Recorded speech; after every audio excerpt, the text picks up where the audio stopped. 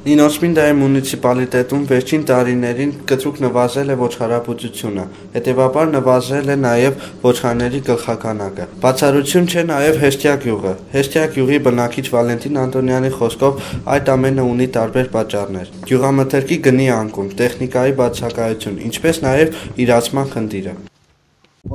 ոչխար, ոչխար կպահենք, օրինակ ոչխարից ոչ մի օգուտ համարյա չունենք որովհետև բուրդ հանցման կետ չկա, բուրդ գտապինք, կատ չնկենք, մշագում պանիր ոչ միտեղ անուն չունի, ոչ միտեղ լուզող չկա, նույն բան առանց կտելու ոչխար կերդահան ետ կա։ Ոչ մի օգուտ էլ չունենք, ըստ կպահենք, եղածենք, որպես կպահենք ապրանքում։ Հեստյա գյուղում արկա է նաև հողատարածքների սակավության խնդիրը, որը իր հերթին հանգեցնում է անասնակերի գնի բարձրացմանը։ Չունենք նույնպես տոնկա որ հեկտար 25 սոտկա ունի, այդ հողից օգուտ չի կենա քաղը, հող հոտ տնելով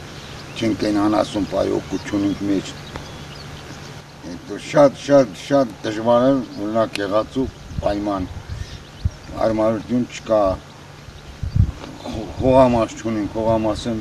ով հողամաս ունի, նա լավ կզբաղվի, լավ ունի, ով չունի չի կինա։ Չնայած այն բանին, որ Նինոսմինդայի շրջանում նվազել է ոչխարաբուծությունը, ըստ վիճակագրական տվյալների, Վրաստանում եւ այլ երկրներում մեծ պահանջարկ կա մանր եղջերավոր անասունների մսամթերքի նկատմամբ։